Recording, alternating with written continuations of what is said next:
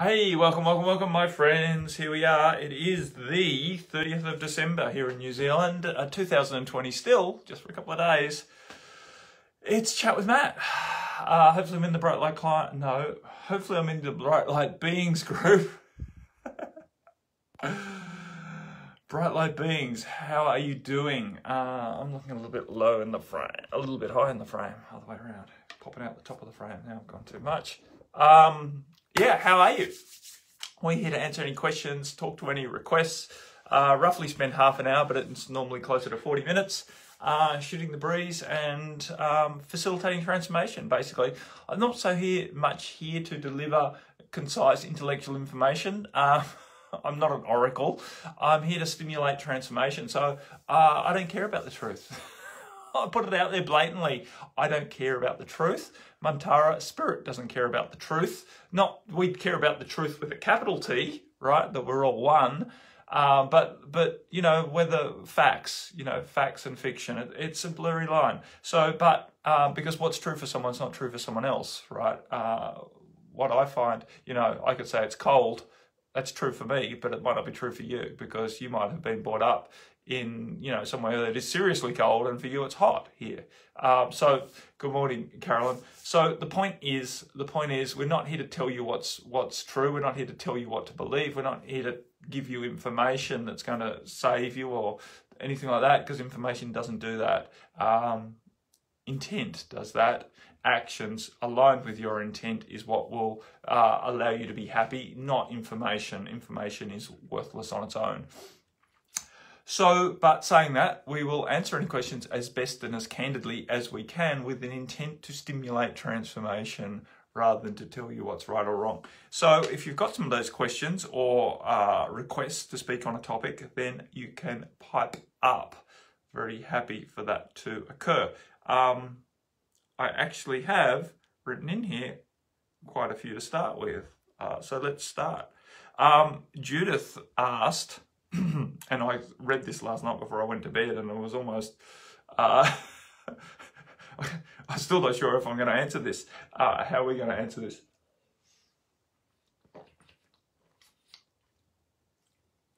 Distracting myself with a drink. Here we go. What is the most profound thing, only one in brackets, you personally have learnt on your spiritual path? So I think the most profound thing that I have learned, and by profound, I'm going to um, use, I'm going to translate profound as the most useful, um, as opposed to the most awe-inspiring or fantastical, which you might say is profound. But the most profound thing, the most th- the thing that has delivered me the most results on my spiritual path is, wait for it, hey Sister Jane, relax I know, one word, right? Relax. I started my spiritual journey very, very intent and serious on reaching whatever we want to call that word, right? Nirvana, moksha, real, self-realization, ascension. Uh, I started back when I was 25, so that's 25 years ago, through the yoga path, took you know mantra with a with a traditional Indian guru had a mantra around my neck right? Did religious spiritual practices you know our meditation in the morning our meditation at night every day without fail. Um, did my mantra you know during the day um, was very very disciplined and intent dedicated, devoted to my spiritual practice, which is great and it has served me well. That discipline, dedication, devotion has been very, very good. But the other thing that I was, was I was fucking serious. I was very, very serious. It was very important.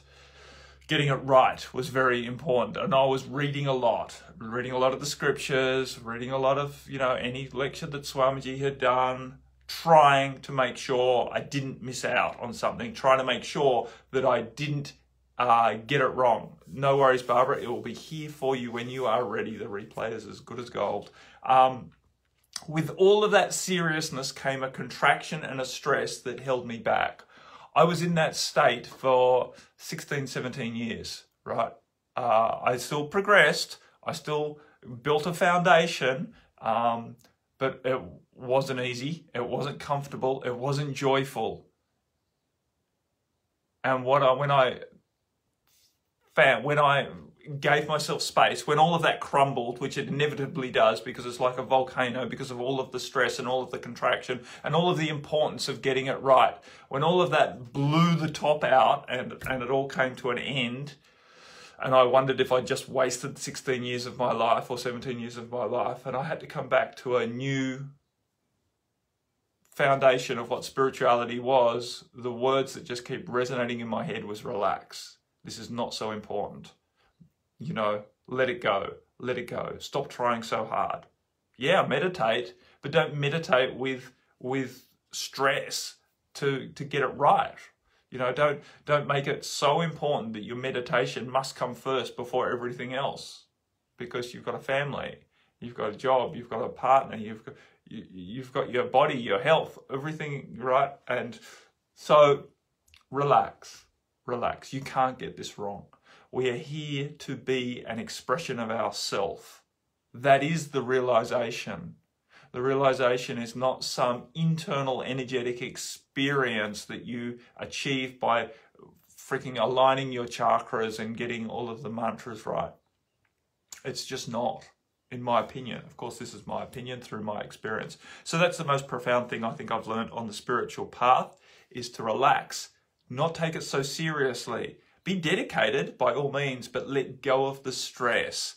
Allow yourself to enjoy the process. Relax and enjoy was my catch cry for a long time through those years of first, uh, you know, finding that space and choosing to become a healer or a facilitator. Even before I started speaking light language, right? Um, the words, the first words that came out of my mouth in terms of guidance to others through that time was relax and enjoy. This is an experience to be had, not an experience to get right. You know, this is this path is not something we need to get right. It's something we need to enjoy. It's through the process of enjoyment that we actually evolve. Hopefully that worked for you, Judith. Uh, next question, Sister Jen. This is quite common, I think. So people in my community have started an Excel, uh, that's a spreadsheet, I believe, to track, quote unquote, how many people, members have been around each week. One column to indicate the number of people and one column to indicate the number of people in community. Uh, their reason is that several people in the community have immune disorders and are at high risk and want to be more informed about their level of risk and decide who to interact with. Everyone seems to be on board except one person who refuses to be part of anything and does her own thing completely. I find myself a bit repulsed by all sides and notice that and notice that I think there's old, the old pattern of wanting to totally disengage from everyone come up. I feel tired of trying to have compassion for people and understand them. Yeah, so this is pretty common, Jen, in my opinion, in my experience too. Uh, what's really common right now is feeling tired. feeling tired of trying. I just had this conversation this morning with Marie. I'm just tired of trying to get it right. So I'm coming back to that point again, right? Because we've got some things going on around us and I'm noticing the pressure build up in my own life. So this tired of trying to um, get it right and to meet obligations and to please everyone and to please expectations of who you should be.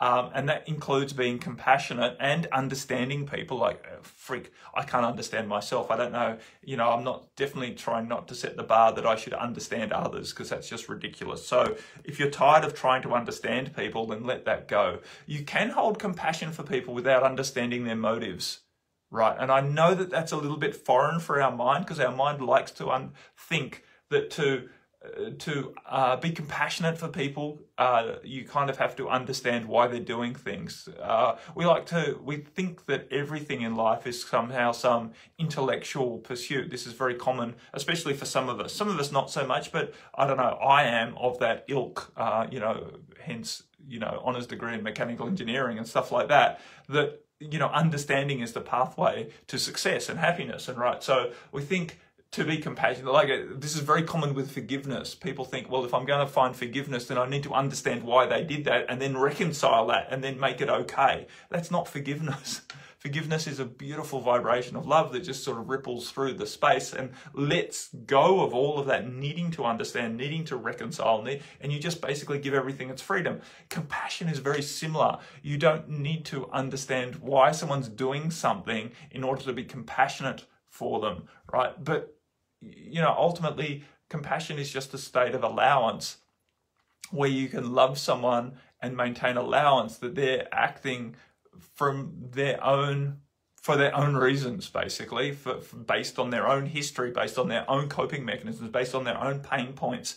We can have compassion that people are doing things that might be discordant to our way of viewing the world, but we understand that they're doing it based on their history and whatever's shaped them. So we're compassionate and we understand that they're probably in pain of some degree, whether they know it or not, right? Abusive people are trying to escape their own pain. That's why they're abusive. That's why their ego is looking to find okayness about them and they abuse others to try and do that. It's a very unsocial way of doing things. It's very counter to those of us who are very aligned with the light and want to be kind and generous and nurturing and caring for people in our community as a way of us coping with not feeling good enough. Other people who are not feeling good enough decide to be abusive and obnoxious and controlling of others in community because that's how they're coping with not feeling good enough. Understanding that it's the, basically the same disconnection from the being that we be that's driving all sorts of behaviors allows us to be compassionate for people, right? And that doesn't mean we allow them to walk over us. It doesn't mean just because we're compassionate with understanding why an abuser is the way that they are that we allow them to keep abusing. Um, but we don't make them fundamentally wrong for the behavior that they're choosing. We're compassionate in understanding that they've just chosen or just been uh, educated into a coping mechanism, right? Their history has educated them, and perhaps this is the way that their parents behave towards them. It's the only way they know of dealing with the pain that they're feeling, right? So, when you look at a group of people trying to interact in a stressful situation, which is what you're talking about, right, where people are very fearful for their own for their own well-being and are now trying to do things, other people are fearful, like this person who is choosing not to comply, is fearful for their own well-being and don't want to lose themselves in having to comply with other people's, you know, fears, and so they're fearful of having to Right, so it's fear upon fear, and you're and you're tired of it. You're tired of living in a world where fear is dictating how people behave. Fear is the underlying motivation behind both those actions, right? Both the people who want us Excel spreadsheet to track this and that or that, it's all fear, right? And the person who doesn't want to interact with that, that's fear as well. So, uh, as a being who's aligned with the light and love, right, you, you're tired of that and it's hard to find compassion, but compassion is going to serve you and at the same time you know, you're allowed to step out of it, Jen. You're allowed to maintain neutrality and just go, well, right? Because I know that this catch cry that we're supposed to engage at this time and we're supposed to speak out, but really that is, um, in my opinion, a, a, level of control as well. You know, this whole slogan that I picked up very much on and spoke out against when it came out, you know, with the uh, Black Lives Matters movement, which is silence is violence slogan, right? Which is very much a catch cry of, you know, the the shadow masculine, right? Wanting people to engage, desperate for people to fight with each other, um, and saying that if you opt out of the discussion, if you don't engage, then you're actually on the wrong side, right? Your silence basically is condoning um, racism, which was is completely not true, right? Uh, if you need to speak out and say that racism is wrong, and if you need to judge others for being racist, then you, you know you're basically racist. it's it's because what we fight against is what we feed. So, um, hey, good morning, Christine. So you know there is. It's a very, very slippery slope, and it's very easy to get caught up in fighting which is what the shadow controlling masculine wants us to do. They want us to engage with each other with with disharmony. Um, So they're inciting that and they're inciting people to must, you must have an opinion on this and you must, right, to pick a side. You have to pick a side. If you don't pick a side, you're wrong at the moment. And that is just totally anti evolutionary and spiritual. You don't need to pick a side.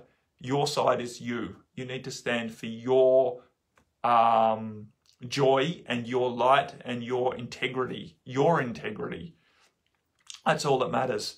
Picking fights and, and picking sides and so it's difficult and it's very very common to feel tired right now and trust that that tiredness is what we are releasing um, there's a lot of that energy up right now of what we are releasing uh, what we're feeling is what we're releasing and there's a lot of density and it feels like tiredness i've been incredibly incredibly tired lately um, ridiculously so. But I recognize that we're right in this portal. It's full moon in, uh, well, it's nine, I don't know, eight hours, say. I'll say eight hours. I think it might only be seven. But so we're right in the lead up to a full moon and it's intense. It's intense. And what's really intense is what we're releasing and it's coming up now. And there's a lot of tiredness and frustration and bordering on anger uh, with ourselves or even with God right now that this is such a shit fight and it's so hard. And what's the point of being here? I've talked to quite a few people,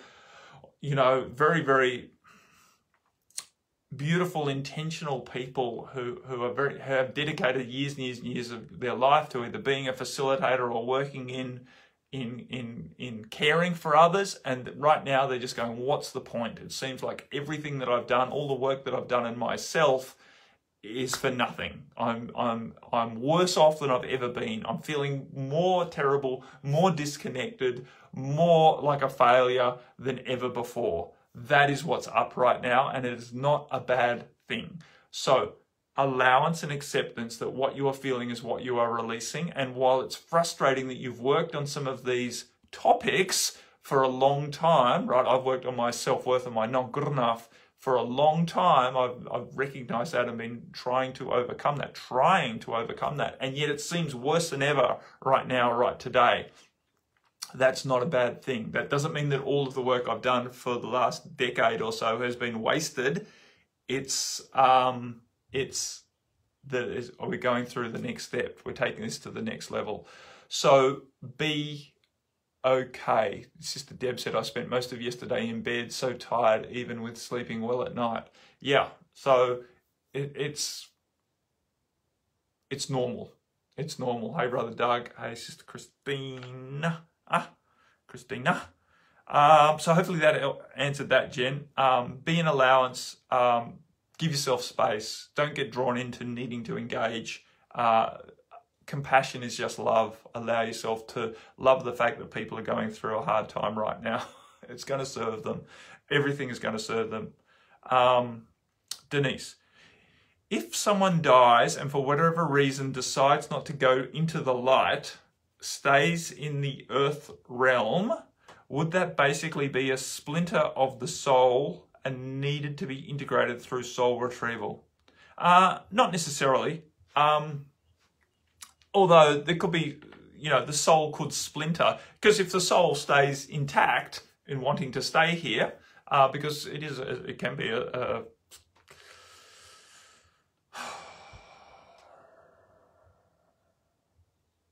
it would be unlikely to leave a whole persona behind.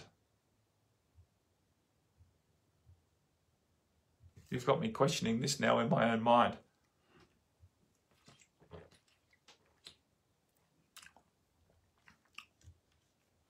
Okay, I'm going to come back to first principles. How does it serve us? Um, how does this understanding serve us? It could be. It could be that um, in, a, in an exceptional experience that you basically leave the whole of that persona behind from a previous lifetime where you chose where this personality stayed. It's unlikely. It's unlikely. What we call soul splinters is usually um,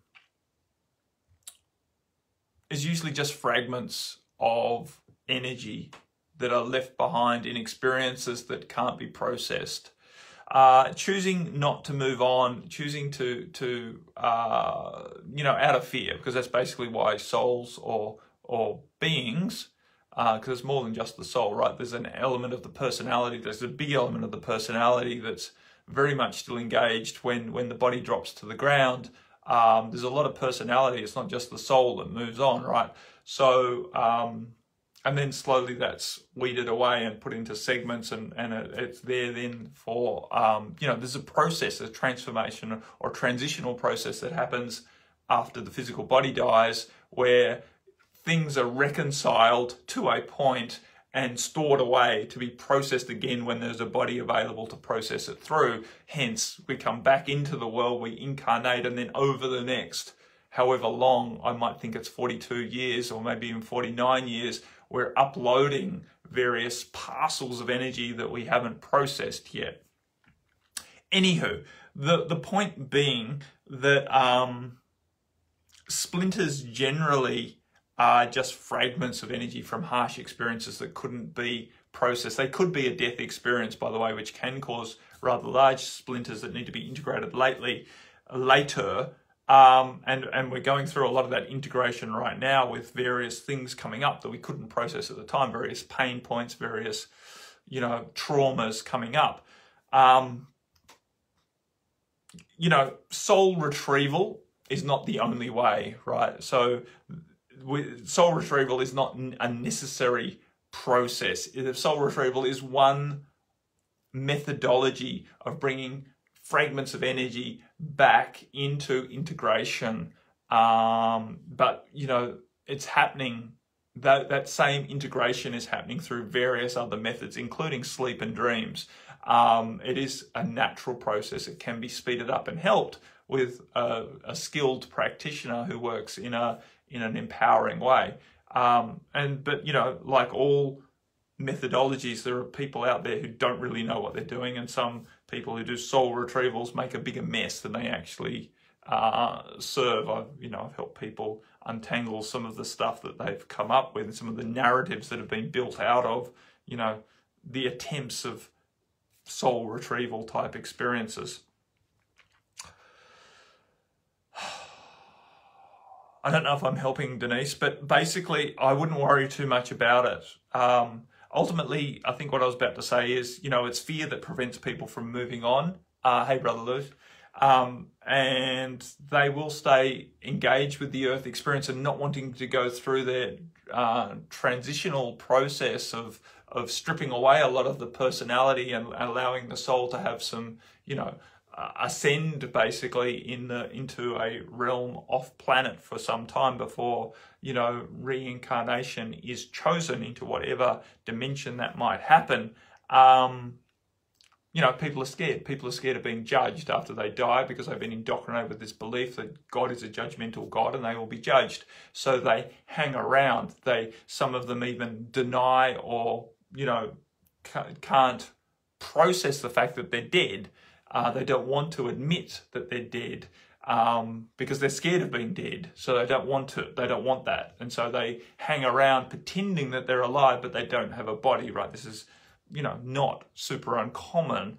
Um, we call them ghosts or spirits or entities. Um, that's not necessarily what we would call uh, a soul retrieval. And I'm not sure that the soul would leave a whole personality like that and then move into another incarnation. Um, I could be wrong there. Maybe in certain circumstances it would be, and it would be a bit more than a splinter that needs to be retrieved if it was a whole lifetime. Anyway, other people might have different different opinions on that.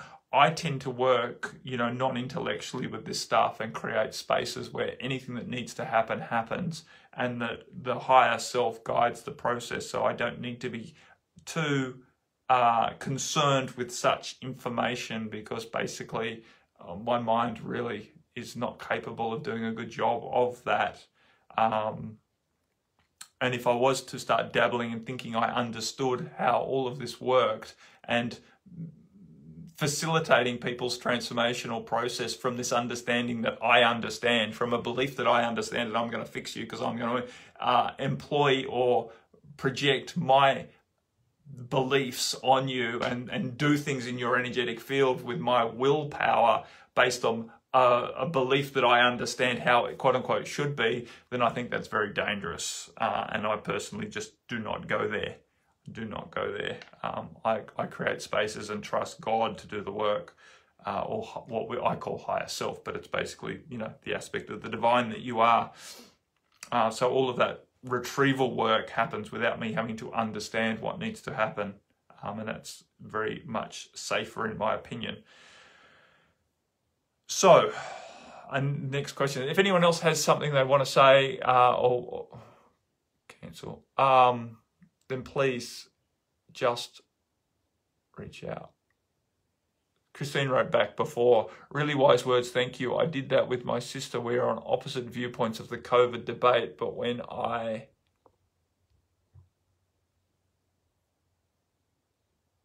But when I saw my sister, I just hugged her and kept hugging her until until her tears came. I similarly accepted her as she was, and our relationship has totally changed. Awesome story, Christina. I love that. Um, hey, brother Phil. So yeah, exactly. Love cures all, and at the moment, these divisions are just fueled by fear. Um, might be off topic, but right. Well, brother Lou writes in what's off topic. I don't think there is a topic, but I'm going to quickly get into Carolyn so that I don't leave that out. Carolyn wrote, I'm feeling blah, not a lot of enthusiasm, feeling achy all over and very painful left knee. So I want to believe we're moving into an amazing new world, but I'm struggling. Thank you for your ongoing support and wisdom. Awesome. I think I've talked a little bit about that. Um, but yes, we are moving into an awesome world, and what we're experiencing right now is what we're releasing. So let go of the struggle to believe that if we're moving into an awesome new world that it should be getting better incrementally because these things do not happen in a linear fashion. It's basically going to get worse before it gets better and it's not linear it's multi-dimensional it's all happening at once. New awesome things are beginning right now while incredibly painful things are ending right now and both things can happen concurrently and we get this stage where we start switching between realities and so don't get caught up in thinking, well, if we're entering a new world, then everything should be getting better. And it really, it feels like my experience of it, everything's getting worse. So, so something's gone wrong. Let go of the idea that something's going wrong and trust that these endings are rather intense now, while very exciting things are beginning right now. And where you focus your energy on is kind of more of the experience that you are having in saying that, even with your attention focused on what we're stepping into, you are also having intense uh, expulsions of vibrations that you cannot take forward, and they can be rather consuming, rather consuming, as I can definitely bear testament to. Over the last few days, I've had some very, very intensely uncomfortable experiences, uh, emotionally, mentally, and physically, and externally, right, just in mess around me and stuff arising and other people interacting in the same energy of incre- incredibly intense discomfort as their stuff is getting purged in this very potent time of transformation. So hopefully that helps, Sister uh, Carolyn. Hopefully that helps. Just managing my things. Okay, I'm running out of time. Is brother, uh, did you get that written, brother Lou? And I just didn't see it. I'll do a refresh on this page, and hopefully I'll be able to see where this is going.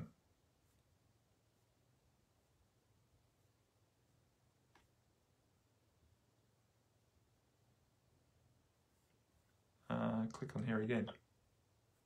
Written, brother Lou, and I just didn't see it. I'll do a refresh on this page. I need to double click on it. There we go. Yeah, make that silent. And now I should be able to scroll through all the comments.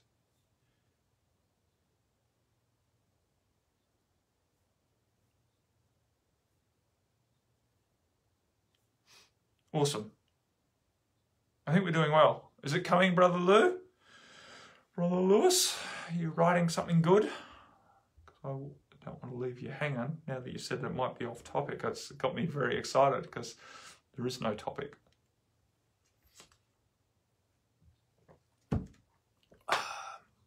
So I'm doing another call well, I can I can say that while we're waiting. I'm doing another call at 4 p.m. New Zealand time, so it's 9:30 now. Uh, so that's in six and a half hours. In six and a half hours, we'll be on again. I know that's not really great for um, the the UK and Europe because it's like 3 or 4 a.m. in the morning, but it's when the friggin' full moon is actually full. So that's when we're going to do it. Um,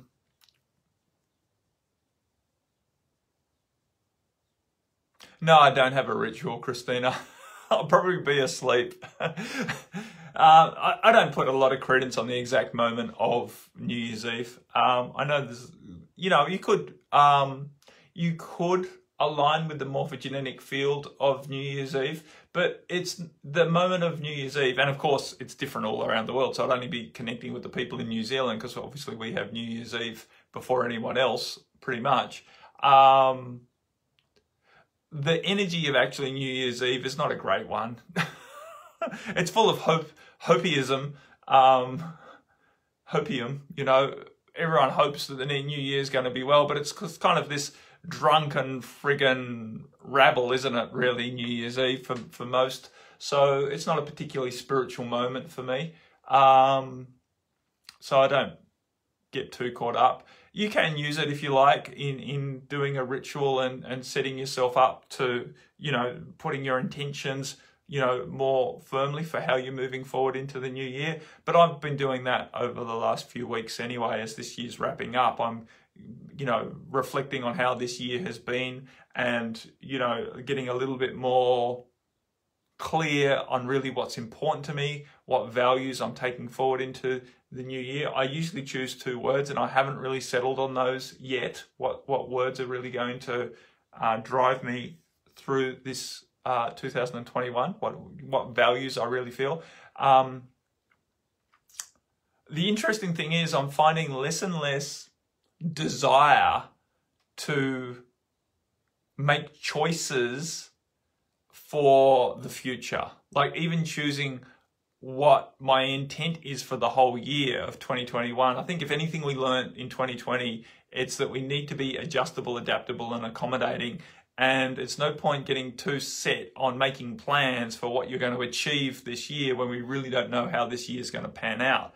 And I think that's become, I think that's become more and more obvious, but it's always been the truth, right? It's always been the truth that it's a rather, uh, immature way of looking at the world, these setting goals into the future. Goals are great, but we also need to be very much more um, adaptable. Yeah, hopeism, hope, hopeism, uh, or hopi, hopioids, the hopioids. Um, right, I just missed a whole bunch of calls. So yeah, I don't particularly use New Year's as a, as a strong uh, opportunity, but you know, I'm not saying it's wrong. It's just that's that's me. Shirley wrote, Hi Matt, I'm struggling with grief and broken heart. My only sister passed away on Christmas Day. Oh wow. Suddenly, suddenly, any help is appreciated. Okay.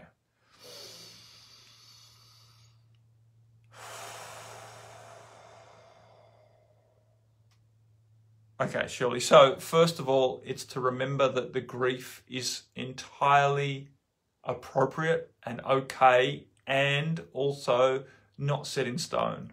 So allow yourself to feel what you're feeling. Let go of the struggle. So you're not struggling with grief. Allow grief, right? You don't need to suppress it. You don't need to overcome it. It doesn't need to be a certain way. Allow yourself to be overwhelmed. This is an overwhelming experience. Overwhelm is not a wrongness. Allow yourself to be non functional in the emotional experience that you're having, right? The the energy conditions are already incredibly intense. To have such an um, big experience, such an intense experience in an already uh, intense environment is very, very challenging. So allow yourself to be very, very challenged and don't struggle against it. Allow yourself to surrender to the experience and allow it to ripple through you. Of course, you you know um, you have to function to a level, right, to keep feeding yourself and, and looking after the things that need to be done. But don't set your expectations too high about what you're supposed to be achieving right now and allow yourself to process the experience that's right in front of you.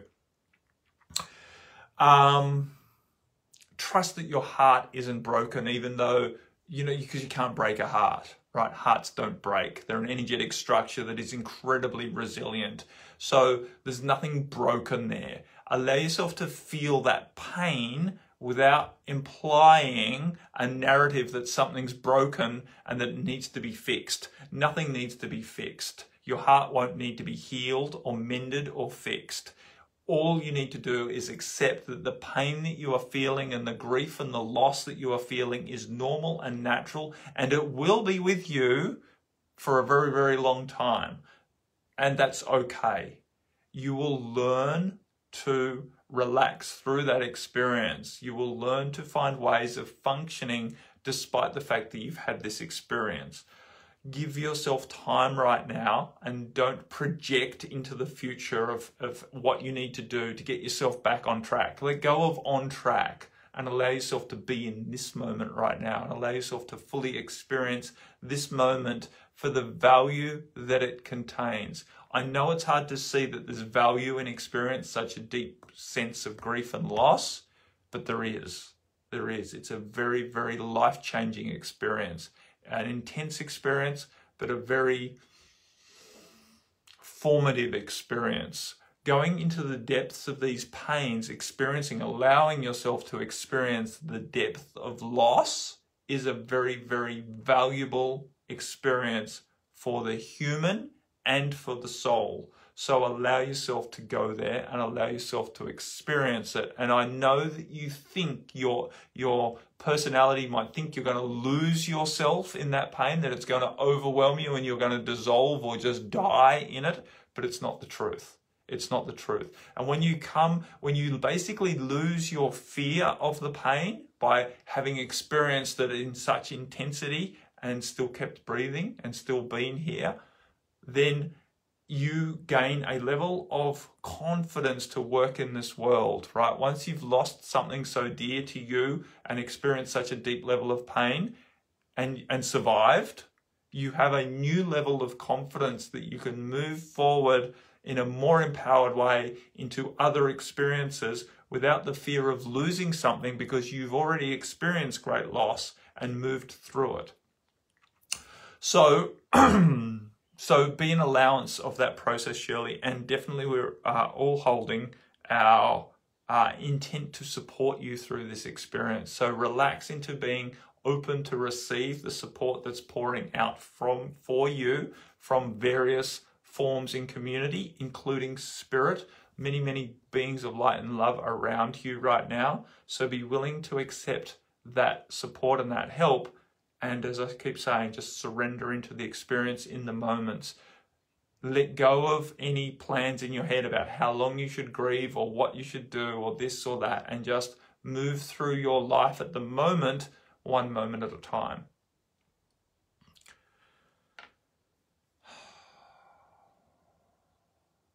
Okay, Brother Lewis said, My experience with my dead son spirit is that he just transitioned into whoop, that he just transitioned into another plane. As per my wife's vision it's the most beautiful place. So there is life after we leave here.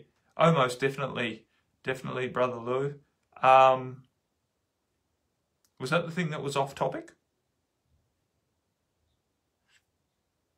Uh, but it's definitely not off topic, as, as you've seen. Um, so yes, there is definitely there's definitely life after we leave here, and transitioning through it's a process, right? And there's definitely different levels and different experiences that we have after after this physical body drops to the ground. This physical body, this experience in physicality. Just looking at the time, I have got another call very soon. Um, is a, is a very valid and very awesome experience, but it's not the only one, right? By any stretch of the imagination, we are vast, multidimensional beings, and there is an infinite number of dimensions to have experiences on. Some of which are more physical, like this one, and some of them are more etheric.